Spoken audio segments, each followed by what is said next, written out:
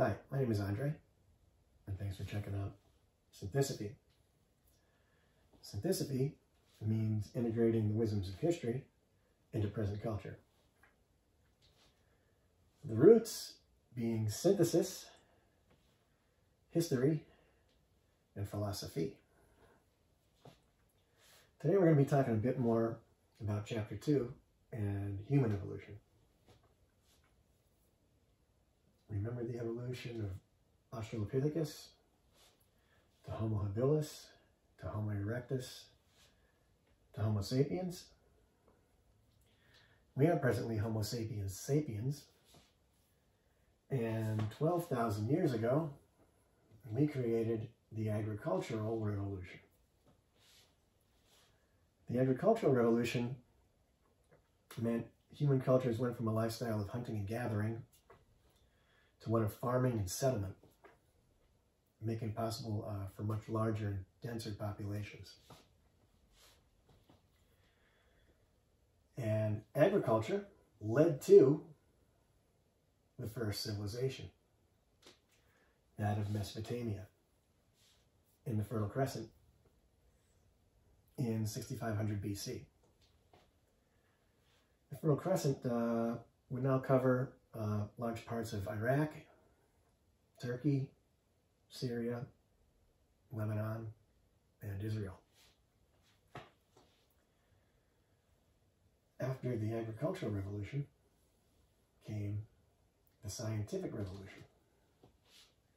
The scientific revolution started in the 1500s with developments in uh, math, physics, astronomy, biology, and chemistry that transformed the views of nature and society. Science is the study of the real world based on fact and truth. The scientific revolution led to the industrial revolution. The industrial revolution was a transition to new manufacturing processes starting in the period from about uh, 1800 into the 1950s. This transition included going from hand production methods to machines.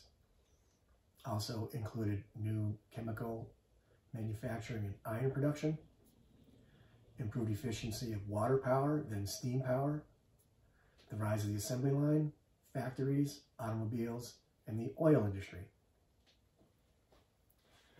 We are now early